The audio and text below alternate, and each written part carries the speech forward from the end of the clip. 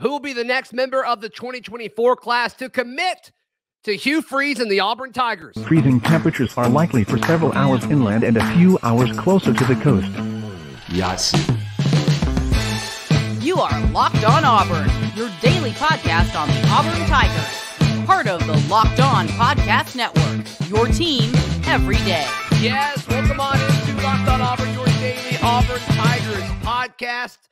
I'm your host, Zac Blackerby. Thank you so much for making Locked On Auburn your first listen every single day. Today's show brought to you by our friends at LinkedIn. Thank you to LinkedIn for being the college football recruiting sponsor throughout the Locked On Podcast Network.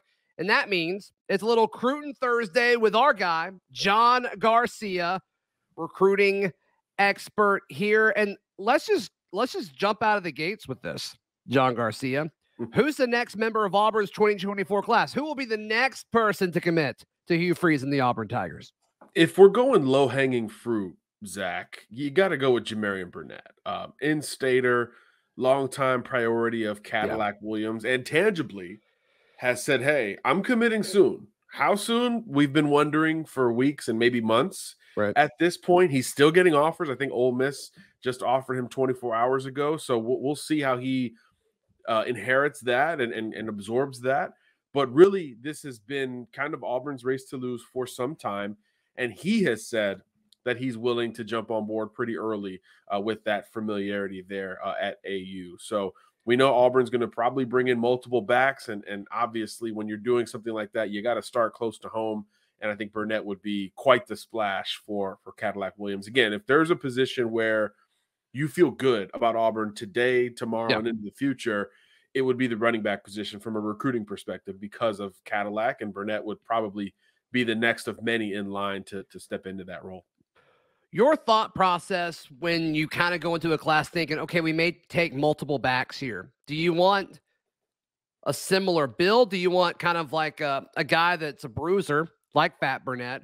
Or, do you want to? So if you add him, does it change kind of your mindset when you add another back? What's your strategy there?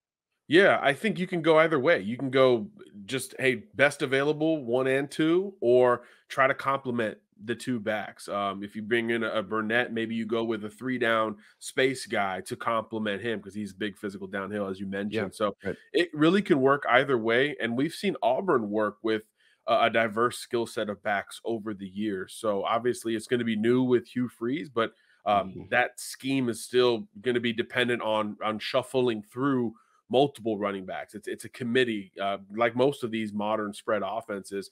You've got to have multiple guys that you can count on as as both runners and pass protectors and receivers out of the backfield. So that's an area for Burnett to improve upon, as as it is for most high school backs. But you really can't deny his ability when when the football is in his hands. So not only would it be a big splash positionally, but look, an in-stater, right? I mean that that is yeah. really where we're going to start to see, in theory, Hugh Freeze and Auburn push further and further up the charts, as they say, as as we get more kind of classic Auburn, Alabama, Iron Bowl type recruiting battles. Burnett would be a heck of a one to to start out with.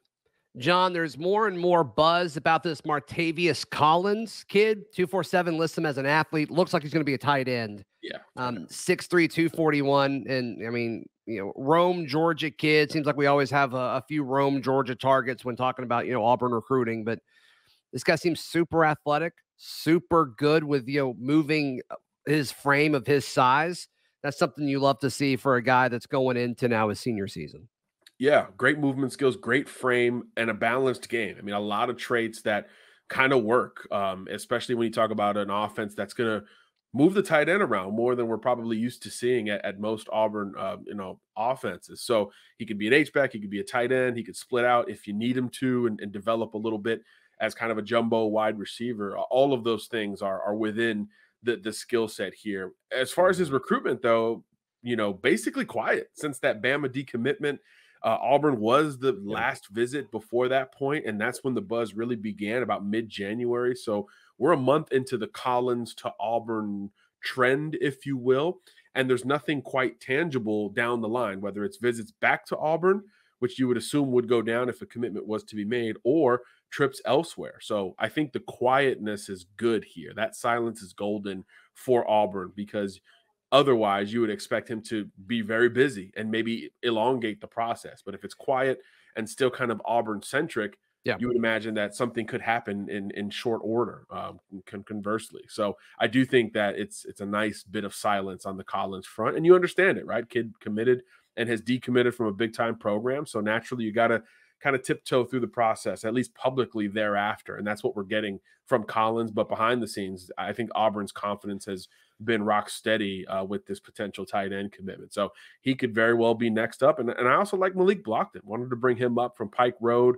Okay. young brother of Marcus Harris, who's been quite the Auburn ambassador. You know, all of them are Montgomery natives.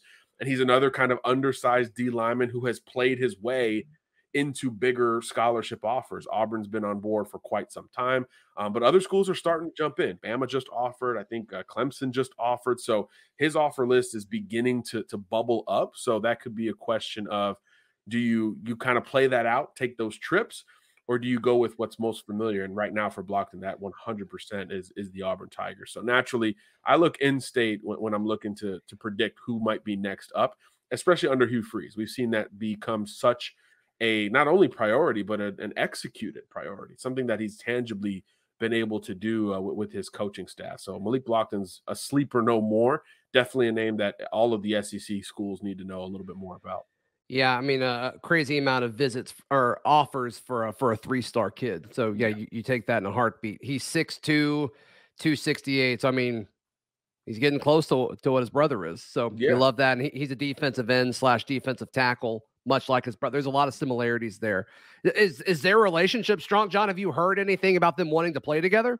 Yeah, I mean it's it's I don't know how much eligibility Marcus has left, but I think he in theory has more than one if he wants it. Right, right. So I mean, you never rule something like that out. You know, Marcus is is always back around in Montgomery with the Madhouse crew. Malik is there training as well. So as far as as I know, uh, their paths continue to cross pretty consistently um, with with Marcus back home uh, in the state of Alabama after his his couple years out there at, at Kansas. So yeah, I mean he's he's always back there in the lab. He's kind of known as that. Marcus is known as that gym rat, kind of give back to the community uh, to the young guys kind of guy anyway. So imagine with it, you know, bloodlines being, you know, thrown on top of that as an additional layer, that's got weigh heavily with with Malik as he starts to theoretically narrow down the process. Yeah, three good names there. Martevious Collins, Fat Burnett, Malik Blocton, all candidates for who could be the next to commit to the Auburn Tigers. Stay tuned. That'll be fun to see. John, an offensive tackle that I really, really like, put Auburn in his top 10. It's a top 10, kind of a ridiculous thing. Sure, but still, let's talk about this guy in just a moment right here on Locked On Auburn. Today's show brought to you by our friends at FanDuel. FanDuel is America's sports book. It's Locked On Sports Book. It's the NFL sports book. It's the NBA sports book. We're catching a trend. It needs to be your sports book as well. I was just kind of clicking around, seeing if I could spice up a little bit of this read here. Just looking at Heisman Trophy winner odds for this upcoming season. Of course, Caleb Williams leading the way. That's what happens when you win it and you come back. You are then the favorite to win it again, even though that's only happened once uh, at plus 400 for Caleb Williams. Drake Maye at plus 1,000. Michael Penix at plus 1,200. Bo Nix at plus 1,200. Boy, would that be a wild, wild ride. But be sure to check out this list as well as all other kind of props, odds, and lines at FanDuel. And look, they've got bonus bets, no sweat first bet up to $1,000. So if you miss on your first bet, you get those bonus bets back. Check it out. FanDuel.com slash locked on. That is FanDuel.com slash locked on to learn more. Make every moment more with FanDuel, the official sports betting partner of the NBA. John Garcia, our guest, as we talk all things Auburn, Cruton today.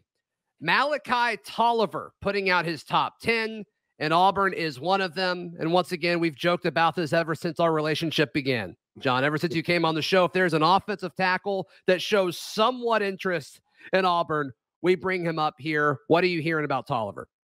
Yeah, top 10 obviously, but look, there's there's a handful of schools within that grouping that you just feel more comfortable with and and if you go by what the kids do and not so much what they say, Auburn's been in this thing since the previous coaching staff. So I think that's mm. always a good sign for general familiarity. And then obviously things have changed over the last few months there at Auburn, not only yeah. with the personnel, but you know, the new facilities, all those things. So I do think there's going to be multiple visits here uh, coming up for Toliver going forward. He's starting to set officials. That's the key here.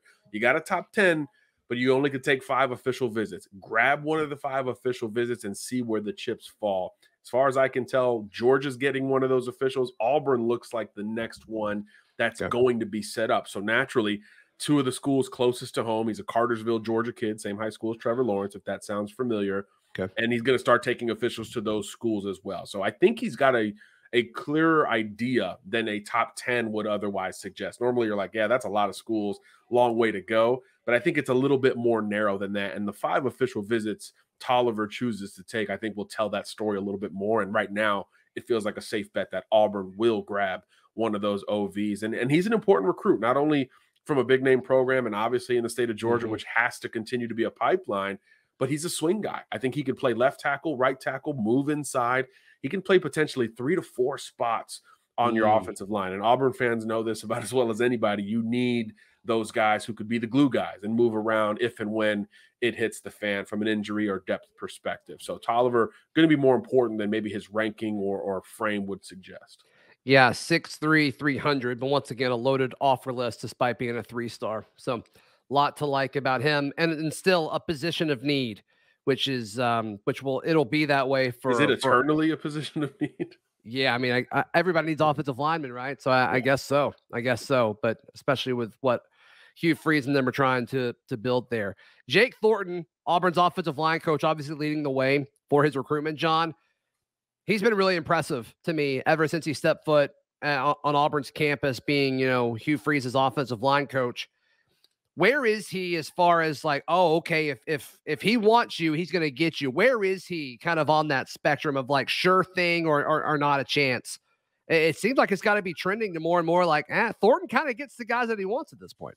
Yeah, he's he's ascending among offensive line coaches, and I don't think you you take the move from Ole Miss to Auburn without that kind of at your at your disposal, not only for him but for Hugh wanting to bring him onto the plains uh, yeah. as well. And you know, he's an early relationships guy, and I think every kind of up and coming recruiter has to be that guy. Identify him early and start building that relationship early. So if Auburn ends up winning this Toliver recruitment in particular, that's one of the few that you can dial back to his Ole Miss days where that relationship was already cultivated. I think Ole Miss even made his top 10, you know. So uh, there's a mm. lot to like uh, about the trajectory of Thornton. Obviously, he hit the ground running in a huge way at the end of the 2023 cycle, but really we'll see the full flex in 24, where I think he'll have more of a, I would say more of a, it's an easier sell for him, right? Um, at Ole Miss with Lane Kiffin, it's it's you know it's up and down. The offense right. changes, the personnel changes so much. I think at Auburn it's going to be a little bit more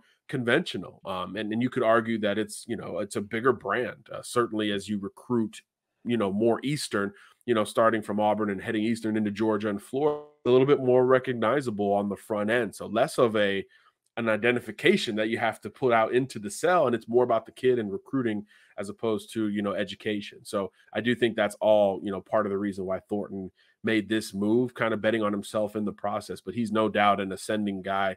Um, I like I like coaches who identify early and trust that evaluation, mm-hmm. regardless mm-hmm. of like you said, three stars or whatever it might look like from somebody else. If you feel like he's a fit for your scheme, you would know that best. So getting in with these guys early is going to be something we see consistently from Auburn, and we're already seeing it. He's offering kids in 2025, and he's probably going to start getting in on some 2026s, which is crazy to say out loud in, in 2023.